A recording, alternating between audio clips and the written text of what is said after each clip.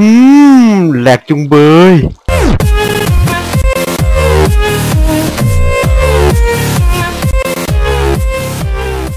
โยโร่ทุกคนนะครับวันนี้กับฟิวรี่คุงนะครับวันนี้ผมก็จะมารีวิว mod แหลกไอ้ยถุย อ๋อไม่ใช่ไอ้ไอ้ mod GLSL Shader อ๋อยยังไม่ทันยังสบยังไม่สบายเหมือนเดิมอยู่นะครับก็ ไอ้ mod ไอ้ shader อันนี้ก็จะทำให้ตัวเกมมาครับของคุณแหลกขึ้นนะครับ แต่ว่าก็จะเพิ่มพวก shader อะไรพวกนี้เข้ามาเนี่ย เห็นไหมครับว่า Minecraft ของผมตอนนี้มันรู้สึกแฟนตาซีขึ้นนะครับ เพราะว่าตอนนี้ผมใส่ shader เอ่อ SEUS อะไรสักอย่างนะจำชื่อไม่ได้นะครับแล้วก็อย่างแรกที่คุณต้องมีในการลง mod shader ก็คือคอมก่อน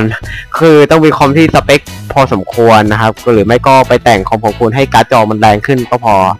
นะครับเรื่องแรมไม่ต้องไม่ค่อยไม่ค่อยเกี่ยวกับเรื่องไอ้นี้เท่าไหร่นะครับซึ่งมาดู frame rate นะครับตอนนี้ผม frame rate กด F3 ไม่ติดเอาชิบหายเออช่างไม่เป็นไรนะครับกดอ๋อใช่ลืมไปเออนะครับเออตอนนี้ frame rate ของผมก็อยู่ที่ 30 fps ก็คือแบบเป็น frame rate หลักคือปกติเลยนะครับ แต่ถ้าสมมติผมเปลี่ยน shader เนี่ย วิธีการเปลี่ยน shader ก็กด option shader แล้วก็ก็จะมีอะไรหลายอย่าง อันนี้ก็คือผมไปโหลดแบบเป็นแพ็คมาสมมุติผมกดปรับเป็น ultra motion blur อะไรเนี้ยดูนะครับเฟรมเรทผมก็จะตกอยู่ที่เท่าเดิม ที่เท่าเดิมนะครับ แต่ก็จะเห็นนะครับว่าน้ำเนี่ยดูน้ำอย่างเช่นน้ำเลยเนี่ยมันก็จะเปลี่ยนเห็นไหมครับแป๊บ พอดำน้ำก็จะเห็นแบบปะ ก็ดำน้ำอันนี้ก็จะเป็นอะไรเทคนิคดีๆนะครับ มองใต้น้ำแล้วมันรู้สึกเหมือนเราใส่ไออะไรวะเขาเรียกอะไรวะอ๋อใส่ไอwater ไอเขาเรียกว่าเอ้ยไม่ใช่ไอมันเรียกว่าแล้ว potion อะไรสักอย่างอ๋อ night vi night vision เออไอที่ทำให้เห็นตอนกลางคืน เออจำได้ละนะครับ ก็อันนี้ก็จะเป็น shader pack นะครับ ซึ่งคุณก็ต้องไปโหลด แล้วก็เดี๋ยวผมจะสอนวิธีการลงหลังจากที่ผมโชว์ shader นะครับ อันนี้ก็จะเป็นพวก อันนี้เป็น pack SEUS แล้วอันนี้ก็ยังเป็นบั๊กเพราะว่า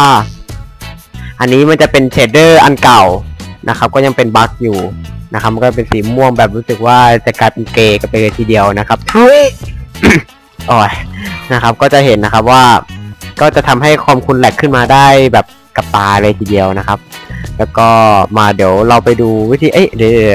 ขอลองอะไร shader อย่างหนึ่งนะครับ ก็จะมี shader หลายแบบนะหลายรูปแบบนะครับไม่ใช่แบบสวยๆอย่างเดียวแบบเกรียนๆโง่ๆก็มีนะครับ อันนี้จะเป็น shader ที่ผมชอบที่สุดนะครับเพราะว่าสีมันดูแบบเออแบบดูแล้วเล่นเล่นเกมแล้วสบายตาดีอะไรแบบเนี้ยนะครับยกเว้นเออใช่เดี๋ยวดูสมมตินะครับ ก็คือเห็นเห็นเงาตัวผมไหมเนี่ยไอ้ดอกไอ้ดอกไอ้ดอกโอเคนะครับก็อันนี้ก็จะทำให้แบบทุกสิ่งที่เราวางเนี่ยมีเงา แล้วก็ยกเว้นบางอย่างนะครับพูดได้เลยว่ายกเว้นบางอย่าง เช่นน้ำลาวา อะไรพวกนี้แต่ดูดูตรงแสงนะครับปุ๊บเห็นไหมดูสิครับแสงไม่แบบลาวา สมมติผมจะสร้างบ้านเดินนะครับ ยังสวยอันเนี้ยเอาจริงๆเลยพูดตามตรงคือ แค่บ้านเดินแบบกระกระจอกกระจอกกากายดูนะเดี๋ยวผมลองสร้างให้ดูเลยปึ๊บปึ๊บปึ๊บปึ๊บปึ๊บปึ๊บปึ๊บปึ๊บปึ๊บปึ๊บนะครับปึ๊บปึ๊บปึ๊บเนี่ยดูดิถ้าสมมติมองมองมุมมองเนี้ยมันยังดูดีอะไม่ยังดูดีอะ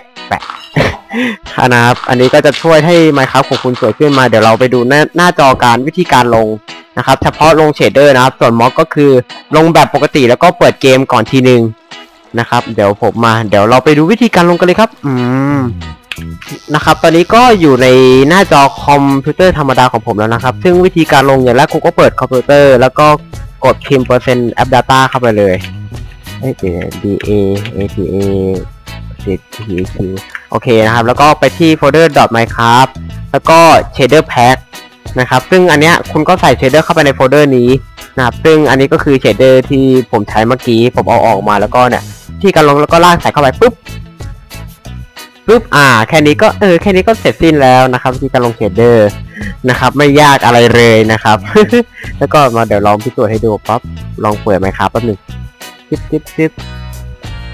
อ่า โอเค มาแล้วก็รอนิดนึงมืบเดี๋ยวรอรอแป๊บนึงให้เทแม่งมาก่อนเออไม่เป็นไรเทออฟไลน์ก็ได้วะถ้าไม่จะติดอะนะ เออโอเค ติดอยู่ นะครับ แล้วก็รอแป๊บนึงเพราะว่าถ่ายอันนี้แม่งโอ้แม่งอะไรนักหนาวะเนี่ยนั่งเปิดไฟฟอกดูอะไรเล่นๆมาปุ๊บ single player แล้วก็ world เมื่อกี้อ่าเนี่ยแล้วก็ shader ก็จะติดแล้วก็มีพวก shader อะไรอยู่ครบ เหมือนเดิม นะครับ ก็มันก็จะมีแค่นี้นะครับ ก็อย่าลืมกดไลค์กด subscribe กด f a v o r i t และอย่าลืมคอมเมนต์มาว่าคุณชอบไหม mod นี้นะครับ แล้วก็คอมคุณตกอยู่ที่เท่าไหร่กี่ fps นะครับ ซึ่งถ้าผมใช้ shader อันนี้จะตกอยู่ที่ 45 fps ซึ่งก็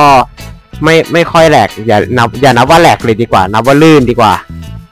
นะครับ แล้วก็อยากเห็นมอดอะไรเป็นมอดต่อไปก็คอมเมนต์มาได้เลยนะ อ่อนโทษทียังยังไม่ยังไม่หายนะครับ ยังไม่สบายยังไม่หายเลยนะครับ ก็ขอทำการจบคลิปแค่นี้นะครับ สวัสดีครับ